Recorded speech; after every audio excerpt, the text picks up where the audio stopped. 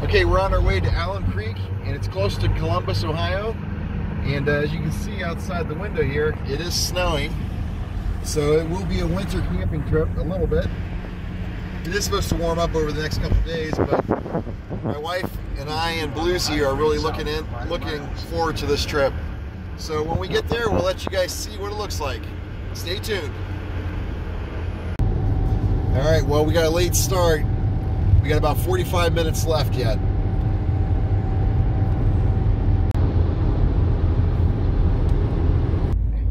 So it is now 6.40 and there's an accident up ahead. So we are stuck in traffic. So it's gonna make us even later. Okay, this is the main road, Africa Road, into the Alum Creek State Park. And we're arriving in the darkness. Yeah, it is pretty dark. Always weird driving with a camper, man. Extra cautious. I guess that's a good thing, though. So if you ever want to know what Jerry feels like driving a camper, watch the movie The Long Long Trailer with Lucille Ball and Desi Arnaz. Yeah, that's a good comparison. Check it out. Maybe he can link it to the description. There's water behind there. Take the next right onto Cheshire Road. Okay, so that darkness is water. You can't see it through the light.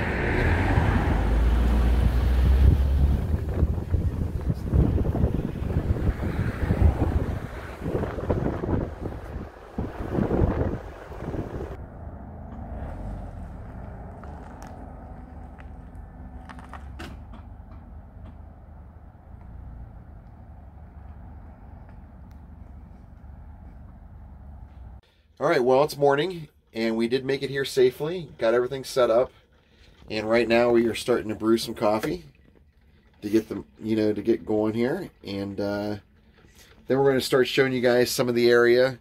Uh, there's some trails. Hopefully today we'll get to do a trail, and uh, you know, probably get some breakfast going, and of course need to gather firewood for tonight. All right, the morning coffee is done, and it came out great. Uh, let's see, what brand did I use? I ended up using Starbucks um, Cafe Verona. My mother-in-law gave me this for um, for Christmas, and uh, it's the whole bean. So we ground the beans, so it's fresh. But uh, yeah, it tastes really good. I actually like this. It's dark roast, which is one of my favorite types of roast from Starbucks.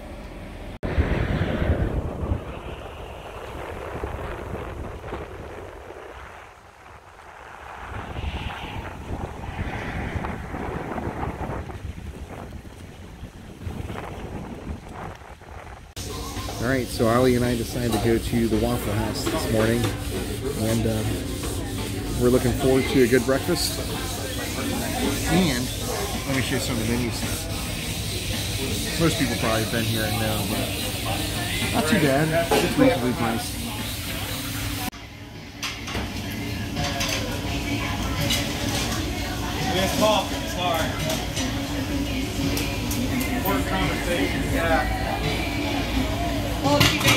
Okay, so this is what I got. Over medium eggs, sweet toast, and grits. Mmm, those crunchy hash browns. Yep, and my waffles are still coming. Oh yeah. Okay, here's the rest of it.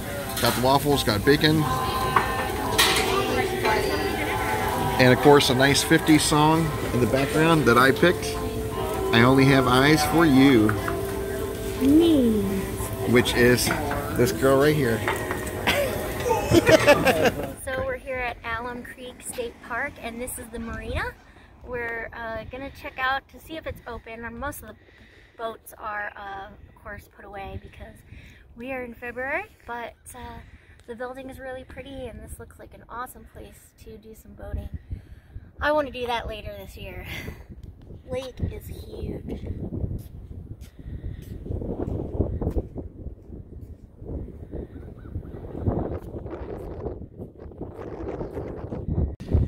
Well, it is closed, of course, for the season, as Ollie said earlier.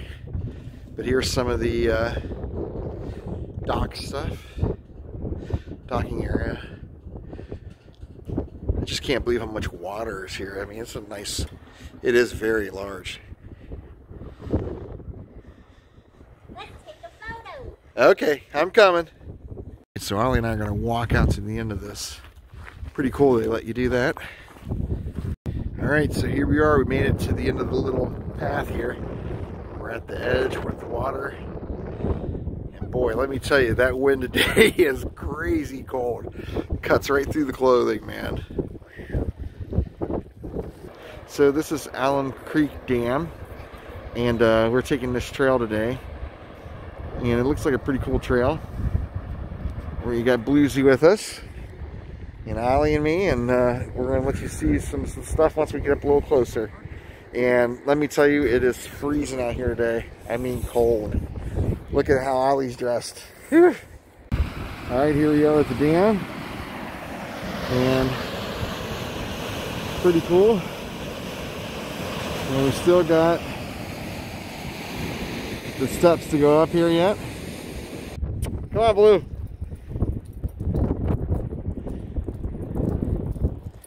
Good girl.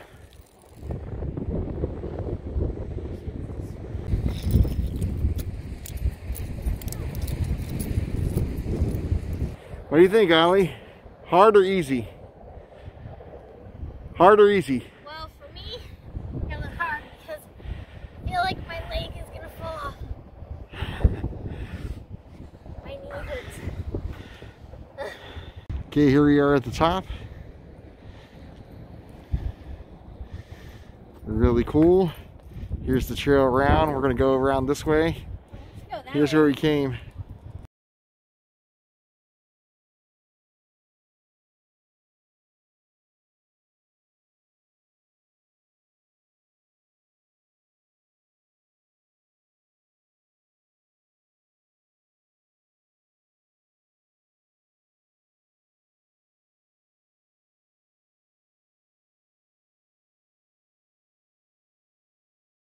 All right, well, I just got done taking a shower at the shower house. Uh, everything was great. Water was warm and it, it warmed up pretty quick and everything, and it's been cold outside. Um, so next, what we're gonna do is uh, I'm gonna go back to the camper. Ollie and I are gonna watch some more movies, uh, and then uh, probably go to sleep after that. All right, good morning, everybody. Uh, well, it's like around 10 o'clock, and uh, we're getting a little later start today. We were kind of tired but uh, I went and had to get some uh, fire uh, lighter fluid today, so I grabbed that in, this morning. That way we can make a fire. We're going to try to cook over the uh, fire pit today. It's a little warmer day, not as much wind as it was yesterday, so got my cup of coffee, and it looks like a really nice day. A little overcast right now, but it looks like it's starting to clear up. Actually, well, yeah. All right, so let's get going on this fire. Hopefully I can get a blazing fire for my wife to cook on.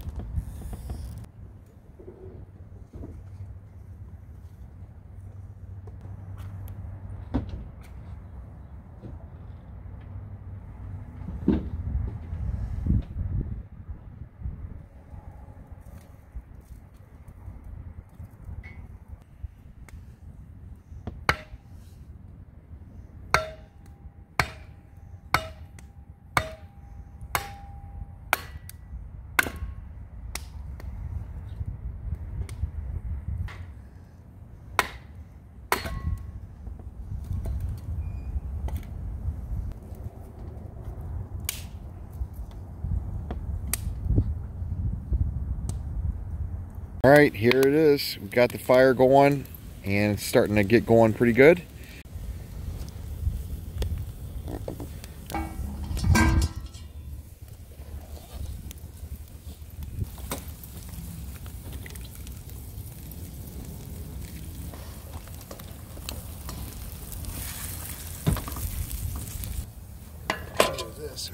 We're gonna cook up all the bacon and then just put the rest in the container for tomorrow.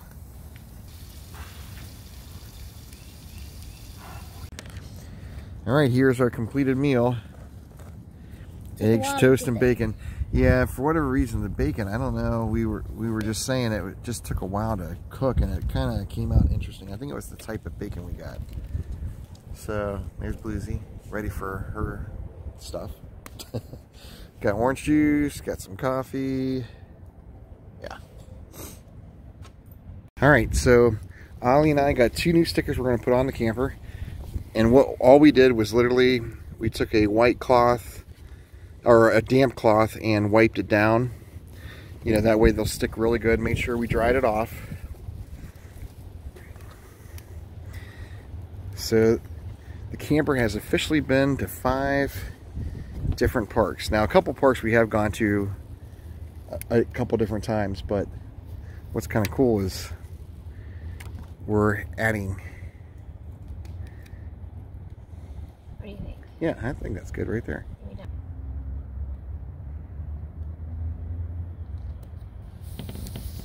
that. Perfect.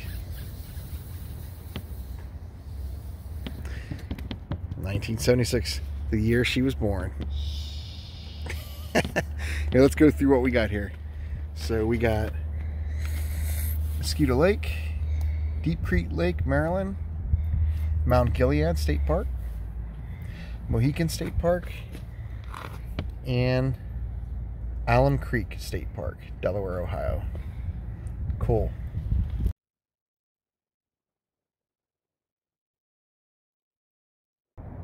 Ollie and I are going to go on this hike here. As you see, we are starting at location A. And uh, there is a mile loop if we get off at B. Uh, we might do the north loop. We'll see. 2.2 south loop is 3.6. Now we might do the, the south loop. It's 3.6. We'll see how the trail goes. Yeah, So- I wanted to do the. So you feeling it, babe? Yeah, but I don't know if I should wear this or not. Well, you can always take it off and wrap it around your waist, like the old days. And of course, today I did remember my trekking poles and water. So we are about to begin this trail. All right, we're into the trail a little bit here. And uh, our first obstacle, of course, it being cold in February, which we're, we know Not is, cold right now. it's not so cold now, but yeah, the mud Ugh. as you can s- uh, I'm gonna flip this around. It's muddy all the way. And, and as I've said in my past videos, always good to have waterproof shoes if you're gonna be doing this in fall or winter time, even early spring or after a good rain. Whoa. But the trail's nice. Other than that, and again, my trekking poles help. I need to get Ollie some. I think it would help her too. We're at our first marker location, which is F. And we're going to go over to B though and continue on that way. Here's where we're at on the trail so far. We're making it. Ollie's waving. And uh, we'll show you when we get to the next marker. Just so you know, some of the trails are not very clearly marked. I mean, yeah, they do have those little markers here and there, but I think there's a spot where we hit like a Y and uh, we weren't sure which way to go. We actually used the Detour app that's made for the um, Ohio State Parks trails, and that helped out a lot.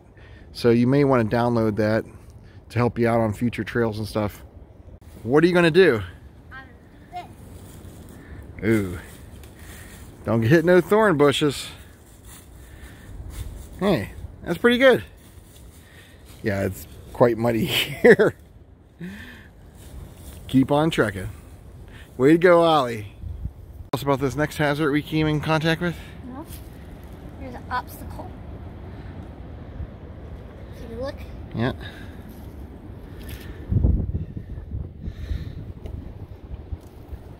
Obviously something fell down and they left it here to make it more natural for us.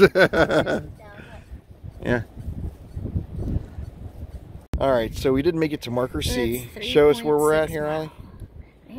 Here. Right there. Okay. So we still had to go all the way to D and then down back to F, or actually so back down to A. 0.2 miles, and then from D to E is a mile, and then from E to F, 0.9, and then Okay. See, that's what that means.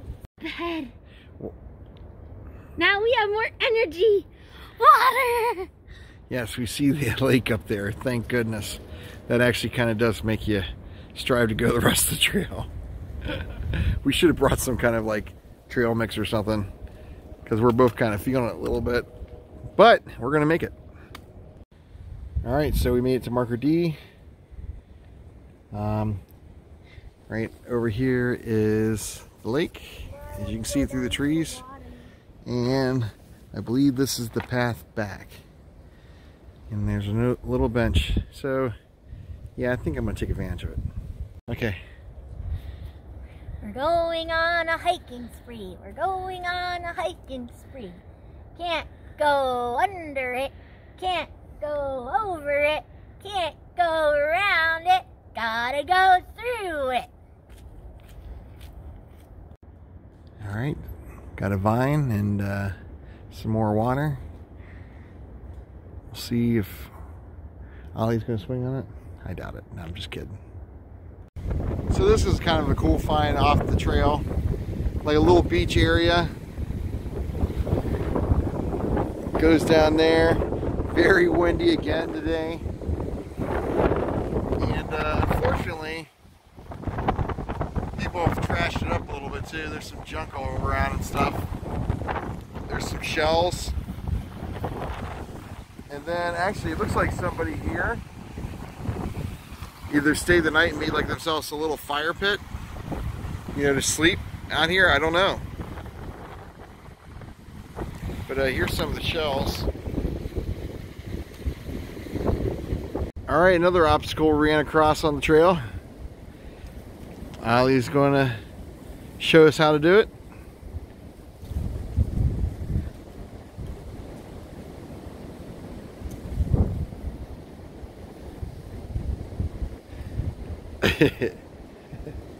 Just make sure you don't fall. Way to go, babe.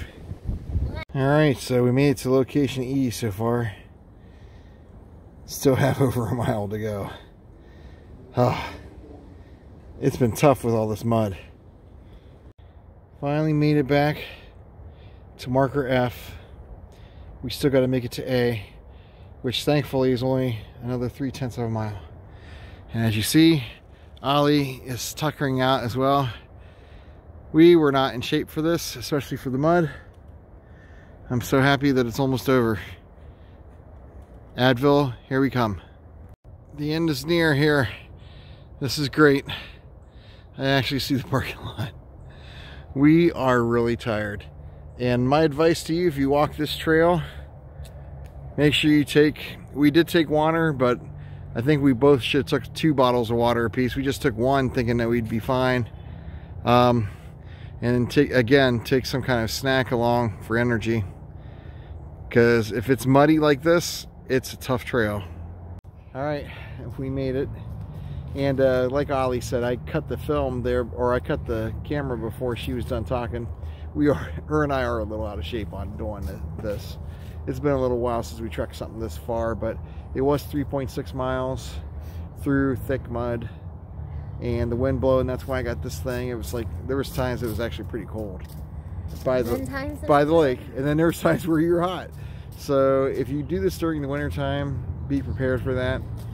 And then, uh, you know, it's just nice to be done. All right, guys. All right, so Ollie and I decided to try this place. It was Ollie's idea, Cheshire Market. And uh, they do pizzas and subs. And then, of course, they do have like a market there. And uh, we think it's going to be pretty good. All right, actually, it does look really good. Kind of anxious to try it. Pepperonis could be a little better over here, but hey, all right, we'll try, give it a try. More of a hometown type pizza. We'll let you know how it is. Bluesy wants to try it too. All right, we're watching MacGyver, and Bluesy's watching too.